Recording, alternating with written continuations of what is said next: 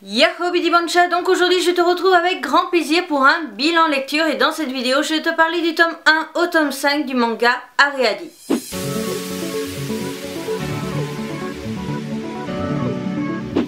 Manga Ariadi est un manga des éditions Pika dans le genre shonen. Nous sommes sur le thème aventure et fantastique. L'œuvre date de 2012 au Japon et de 2014, juin 2014 en France pour son premier tome. Le dernier tome de cette vidéo est sorti du coup en décembre 2014 et nous sommes sur un manga qui est H conseillé 12 ans et plus. Donc du coup en ce qui concerne mon avis sur la qualité du dessin, je te dirais tout simplement qu'on est sur un pied dans le j'adore et un pied dans le coup de cœur. Donc on verra bien dans la deuxième partie du coup si mon cœur balance dans un des deux univers, bah oui peut-être que ça peut aussi tomber dans le j'adore et euh, qui est pas suffisamment pour que ça passe en coup de cœur. Ça peut arriver, hein, euh, même que l'auteur ait eu un problème de santé ou quoi que ce soit, donc du coup je ne serai pas au courant. Et donc du coup la qualité de dessin peut baisser. Si je suis au courant de ce genre d'informations, bien entendu ça influe sur euh, le fait que je ne vais pas forcément déglinguer l'auteur si par exemple il y a eu un problème de santé etc mais bon en ce qui concerne du coup mon avis sur la série je te dirais tout simplement que j'y allais un petit peu aussi à reculons. J'étais pas spécialement sûre de mon avis. J'étais pas spécialement sûre que l'histoire me plairait. Mais l'avis de la youtubeuse Lindsay m'a euh, assez convaincue quand même lors des premiers volumes à lire du coup le manga et à me dire on va essayer, on verra bien si ça me plaît ou pas. Et donc voilà ce qui s'est passé. En ce qui concerne du coup mon avis sur la série, je te dirais que j'ai tout simplement été pour l'instant plus que convaincue. C'est un gros j'adore. Là aussi on est un pied quand même dans le coup de cœur, on est plus le corps quand même penché dans le côté du coup de cœur que le côté du euh, j'adore. Ça c'est déjà très positif. Mais je pense que euh, mon cœur va passer dans le coup de cœur pour euh, la deuxième partie, donc la deuxième session de lecture, tout simplement parce que l'histoire permet très très très prometteuse. Donc ce que j'ai aussi énormément adoré, c'est que du coup on découvre que notre héros de base a un lourd secret et on ne le révèle pas tout de suite et ça c'est vraiment très très intéressant. On voit que le personnage lui-même cherche à cacher la vérité, cherche à ne pas dire ce qui s'est passé et tout l'envers du décor et je crois que ça ne s'affiche qu'au tome 5. Pour une série qui est en 14 tomes, je trouve ça très correct parce que c'est à peu près la moitié, à peu près. Et euh, donc du coup je trouve ça très intéressant parce que du coup on nous révèle pas directement l'information clé dès le début. Parce que ça arrive dans certains mangas, surtout dans les shonen, des fois on nous met directement l'information et puis après du coup on évolue la situation avec l'information qui a été lâchée. Là, pas du tout. Et ça, je trouve ça plutôt sympa. En plus, on est sur des personnages qui ont des pouvoirs. C'est euh, pas un survival game, donc ça permet de changer. Mais on est quand même sur un univers assez changeant, différent. On est sur un mode prisonnier. Mais des prisonniers qui ont des pouvoirs. Des prisonniers qui, au final, on nous fait comprendre que ben, ils ont droit à certaines choses et pas d'autres, etc. Et c'est tout un univers, c'est tout un monde. Et c'est vraiment très très très intéressant, très changeant très agréable à lire. Et je t'avouerai aussi que personnellement, en ce qui concerne les shonen en manga, j'en suis pas spécialement fan. J'ai tendance à les fuir tout simplement parce que je préfère les shonen en animé. Je trouve ça plus dynamique, plus intéressant, plus captivant pour moi.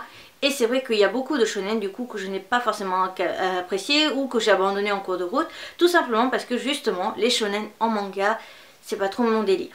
Et là je t'avouerai aussi que Ariadi est donc le manga qui a réussi quand même pour l'instant, pour les 5 premiers tomes, à me réconcilier un petit peu avec ce type de manga et à me dire peut-être à réfléchir à re-regarder ma wishlist en shonen et me dire du coup euh, est-ce que tu serais pas tenté finalement d'en lire certains? Parce que Ariadi t'a quand même beaucoup plu et que faut pas faire une généralité, faut laisser une chance à chaque œuvre etc. Donc voilà en ce qui concerne du coup mon avis sur ce manga. Donc je te mets de toute façon ma petite note à côté de moi et je te laisse du coup avec mon avis sur les couvertures. Donc du coup en ce qui concerne mon avis sur la qualité des couvertures, je te dirais tout simplement que ça a été un ensemble de j'adore. On est plus sur un j'adore que sur un coup de cœur. Le coup de cœur est plus présent dans la, du coup la prochaine vidéo où je te parle du coup du tome 6 au tome 14. Là on est plus sur un ensemble de j'adore bien qu'il y ait quand même deux couvertures qui sont complètement des coups de cœur. Mais voilà, personnellement c'est quand même un j'adore plus. On n'est pas très loin de la frontière des coups de cœur. Mais on n'y est pas encore. Donc en ce qui concerne la couverture du tome 1, donc, ce que j'adore c'est que pour tous les volumes on a ce petit bandeau là avec le titre en argent qui moi m'éclate assez facilement. Voilà.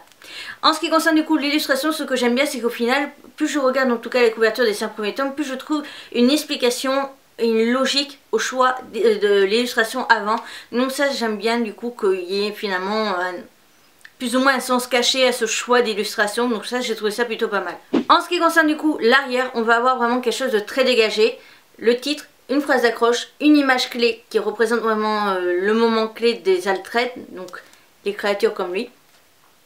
Et on va avoir un résumé très très simple, très très soft, qui n'est pas forcément assez suffisant je trouve pour donner envie. Mais moi c'est plus ce genre de phrases d'accroche qui vont me convaincre d'acheter plutôt que le résumé en soi, quand il y a une phrase d'accroche. En ce qui concerne du coup quand on ouvre la jaquette, ici on a un message de la personne qui a fait le scénario. À l'arrière, on a un message du coup de la personne qui a fait les dessins, parce qu'ils sont deux. En ce qui concerne du coup qu'on enlève les couvertures, on n'a rien du tout, donc je ne montrerai pas pour les autres fois, parce que c'est exactement à chaque fois la même chose. Donc du coup, quand on ouvre le manga, on va d'abord passer sur une page noire, puis on passe sur une page en couleur. Alors oui, il y a un personnage qui est à poil, mais oui, il y a une signification, en fait une logique à ce que le personnage soit dessiné tout nu, tout simplement, parce qu'il y a On comprend en fait en lisant le manga pourquoi elle est nue, par exemple pour ce genre d'illustration. Alors on va éviter de mettre ses doigts n'importe où. Et voilà. Donc on continue, on a la page du coup des sommaires où on va avoir la matière argent métallisé qui fait un petit rappel du coup à la, jaquette du manga. Donc ça j'aime bien. Par contre pour lire les, les trucs en blanc c'est un petit peu compliqué. Et donc du coup on commence directement le manga. On continue du coup avec le tome 2 et il faut savoir du coup que le tome 2 fait partie des deux jaquettes qui sont pour moi des coups de cœur. Donc voilà, j'adore l'illustration avec les flammes. Il faut savoir que j'adore vraiment le feu, observer une flamme. Pour ça que j'achète 36 000 bougies.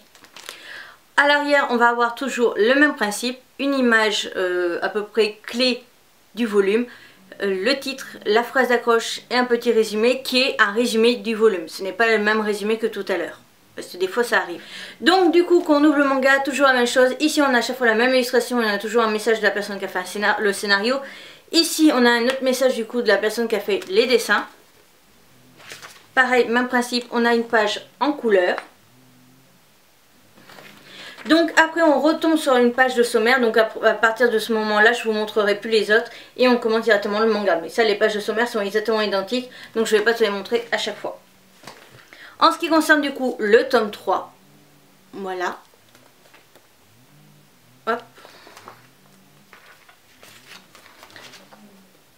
Une sublime image en couleur. Donc du coup en ce qui concerne le tome 3 ce que j'ai apprécié c'est qu'on commence à avoir des informations du coup au niveau des personnages.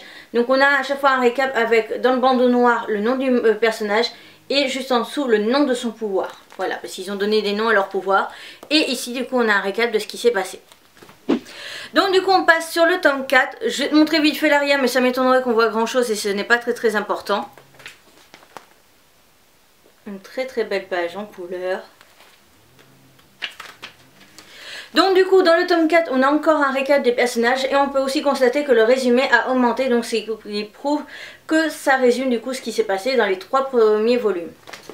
On passe sur le tome 5 et comme tu dois t'en douter c'est forcément ma deuxième couverture coup de cœur. En ce qui concerne du coup l'arrière avec un côté très apocalyptique. La page en couleur. Et toujours le récap. La vidéo est à présent terminée, j'espère de tout mon cœur qu'elle t'aura plu. Si c'est le cas, n'hésite pas à mettre un petit pouce en l'air. Pense à me rejoindre du coup sur les réseaux sociaux que je t'affiche à côté de moi. N'hésite pas du coup à aller t'abonner, c'est rapide, gratuit, ça me ferait extrêmement plaisir. N'hésite pas du coup à me mettre aussi en commentaire si tu connaissais le manga ou pas du tout. Si je t'ai donné envie de le découvrir ou absolument pas.